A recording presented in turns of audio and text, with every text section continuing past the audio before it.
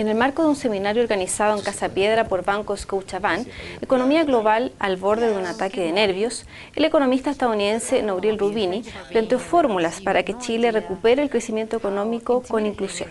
A continuación veremos un extracto de su presentación. Y me acuerdo que fue en este año, fines de enero, en el World Economic Forum, hubo un pánico que llegó a su pic acerca de la economía global. La gente me estaba preguntando mucho si íbamos a volver a la situación en la que estábamos en el 2007 o 2008, si íbamos a tener otra crisis financiera global, otra recesión global. Y mi respuesta fácil era que no y se, e, ellos se sorprendían un poco porque yo soy, eh, me dicen el doctor desastre, entonces siempre como que predigo un poco lo que va a pasar en cuanto a desastres financieros, pero lo que yo decía es que había un riesgo global, pero que las cosas no estaban tan mal como para causar otra recesión global.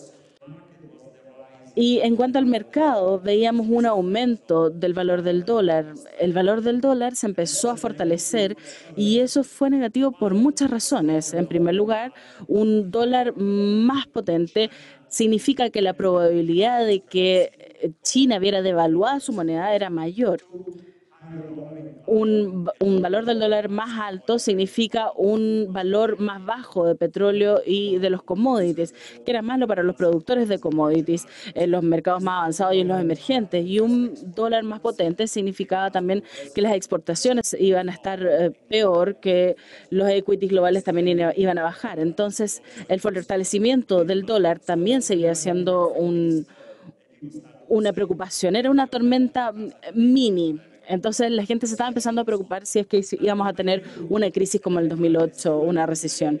Mi visión ahora es que todos estos riesgos son cosas de las que nos tenemos que preocupar, pero la posibilidad extrema de que todo salga mal y que todos estos riesgos se materialicen es, es limitado, es un riesgo limitado. Y esa es la buena noticia.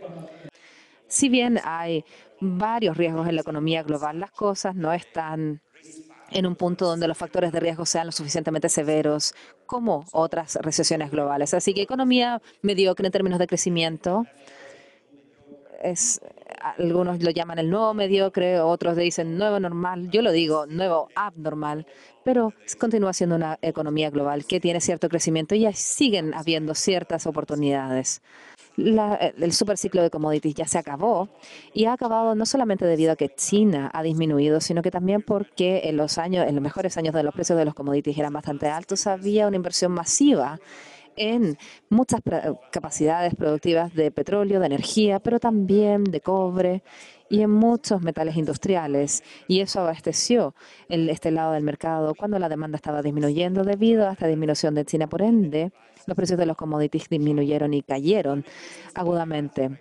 Muchos mercados emergentes, muchas economías en los buenos años, no solamente reformas estructurales que estaban orientadas al mercado no ocurrieron, sino que muchos de estos mercados emergentes se alejaron de estrategias orientadas a los mercados hacia un crecimiento moderado, donde habían variaciones de lo que hablamos con respecto a capitalismo de Estado, mucho rol del Estado eh, con las empresas en la economía, demasiado rol asociado a la asignación de créditos y ahorros de inversión con respecto a los estados, recursos nacionales, ciertas sustituciones de que la industrialización y así en adelante. Y un ejemplo, por supuesto, fue Rusia, un ejemplo también es China, un ejemplo también es India, antes del cambio de gobierno con Mori y en los últimos años Brasil, algunos más políticas populistas y radicales, en Argentina, por ejemplo, también, antes del cambio también reciente del gobierno. Pero hay muchos países en el mundo que han encontrado este modelo basado en el, en el Estado, pero que ahora ya ha llegado a su límite. Y esta especie de más hacia arriba, esta micro reforma de abajo hacia arriba, que es la reforma estructural de segunda generación que no ocurrió. Para crecer rápido, cuando eres pobre, es fácil, ¿no? Hay mejores instituciones, hay un buen eh, marco macro, puedes crecer muy rápidamente por un tiempo, pero una vez que ya llegas al nivel de ingreso medio, pasar de medio a alto, hay que hacer cosas que aumenten la productividad, innovación, tecnología, inversión en capital humano, capital físico, infraestructura, mejores instituciones. Esa segunda generación, esa reforma de segunda generación no ocurrió o ocurrió muy lentamente en muchos mercados emergentes. Nuevamente, hay excepciones, por supuesto, en Asia, en India, que han comenzado a hacerlo, en Latinoamérica. México lo ha hecho, así que no es una, una imagen general, pero sin embargo muchos mercados emergentes es, difícil con un fuerte crecimiento de China cero, políticas de, de se han vuelto flojas de alguna manera en términos de hacer esas reformas estructurales más difíciles que no aumenta la productividad. Hay un punto adicional sobre Latinoamérica. Latinoamérica ha sido, por supuesto, golpeada, como muchos de los mercados emergentes, por estos problemas globales, un crecimiento disminuido de China, el hecho de que la mayoría de los países de Sudamérica está, son exportadores de commodities netos y los precios han caído de los commodities y el hecho de que han importado capital, muchos de ellos han tenido ciertos déficits y cuando hubo una caída de políticas desde cero, el dinero comenzó a fluir fuera de los mercados emergentes en Latinoamérica. Así que estos son algunos de las impresiones más bien cortas, pero algo importante sobre Latinoamérica es que la, la, mayoría de Latinoamérica hay países que tienen democracias estables, sí, en ocasiones hay los gobiernos inapropiados, algunos de izquierdos, otros de la, derecha, pero comparados al pasado 20, 30, 40 incluso años atrás, cuando teníamos estos grandes cambios de políticas, partidos populistas radicales de la extrema izquierda en el poder, seguidos por regímenes autoritarios de la, la derecha extrema, de izquierda a derecha extremo y hubo, hubo muchos cambios del de, de, lado izquierdo al lado derecho. Hubo crisis económicas, hubo precios, ah, hubo crisis con deuda. Ustedes conocen la historia de Latinoamérica. Los últimos 30 años fue un periodo de reformas económicas, de construcción institucional, de democracia, de mejores políticas democráticas, reformas estructurales. A algunos países les va mejor, a otros peor. Sin embargo, esta es una región del mundo que en este punto está más estable políticamente y hay una una alternancia de gobiernos democráticamente balanceada. Sí, ha habido ciertos cambios políticos en Argentina, en Brasil, en Perú. Esperamos que, que, haya ciertos cambios políticos y económicos en Venezuela también. Ahora hablemos finalmente acerca de su país, de Chile, un país que yo respeto mucho. En primer lugar, me gustaría sugerir que hay varios aspectos del país que estructuralmente es muy positivo y es muy potente. Algo importante acerca de Chile. Ha habido una ralentización del crecimiento, como estaba diciendo, en los últimos años. Hace algunos años el crecimiento estaba cercano a un 5%. Los últimos tres años ha estado en 1,5 y 2%. Y por supuesto que hay algún debate en este país en cuanto a las diferentes visiones que tienen diferentes personas acerca de las fuentes del crecimiento. Algunos, algunas personas dicen que tiene que ver con eh, los shocks internacionales, China, la caída del precio del cobre, y otras personas dicen que tiene que ver con algunas de las políticas económicas que el gobierno actual ha seguido y que no han producido mucha confianza en el sector privado. No, y eso ha hecho que la inversión baje, que son políticas negativas que han llevado a este resultado. Ahora, si ustedes están en la oposición, en la derecha, podrían decir que un tercio de, el, de la realización tiene que ver con los sectores, con el sector doméstico. Si están el lado del gobierno que dice que dos uh, tercios o más tienen que ver con los factores globales y el resto puede tener que ver con un exceso de política. No voy a entrar en ese debate, pero voy a mostrar un punto, sí las cosas son más complejas en mi, en visión, más que si es solo un, impacto global o doméstico. Hay varias cosas, o local, hay varias cosas que hay que considerar. Incluso entonces en Estados Unidos, una economía más avanzada, podemos ver que hay preocupación en cuanto al crecimiento inclusivo de la economía.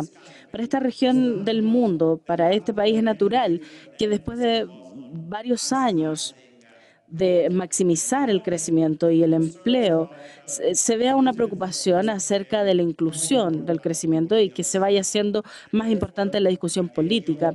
Por lo tanto, la idea de invertir más en educación, porque eso es uno de los impulsores, sin duda, del crecimiento y eh, financiarlo va a producir mayores impuestos en el sector de negocios, eh, ha sido el discurso político.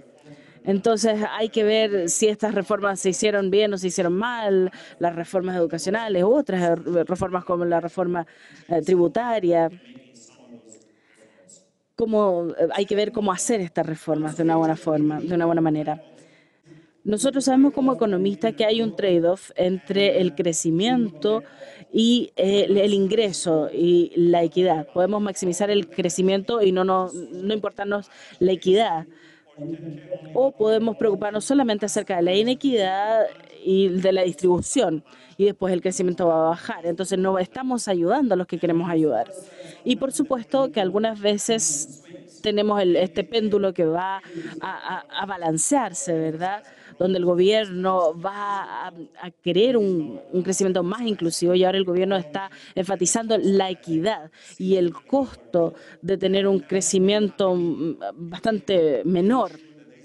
Tenemos entonces que encontrar la media, tenemos que encontrar cómo hacer, cómo tener incentivos para el emprendimiento, crear empleos, cómo hacer que el crecimiento sea inclusivo, porque también hay algo, hay un tema que tiene que ver con el mundo político.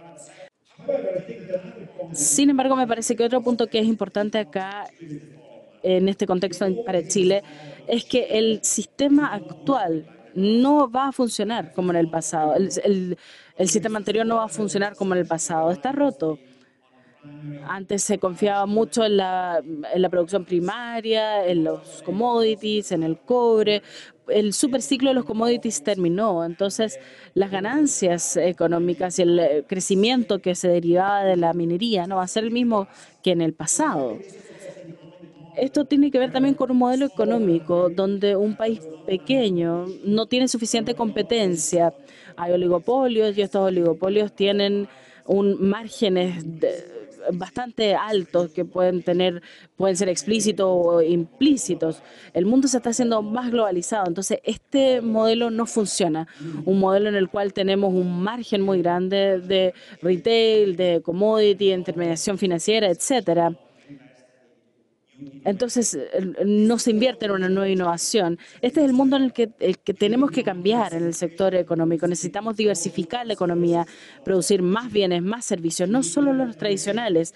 Necesitamos innovación, necesitamos innovación tecnológica más competencia, necesitamos más emprendedores, necesitamos muchas más pequeñas y medianas empresas, más startups que se hagan empresas grandes.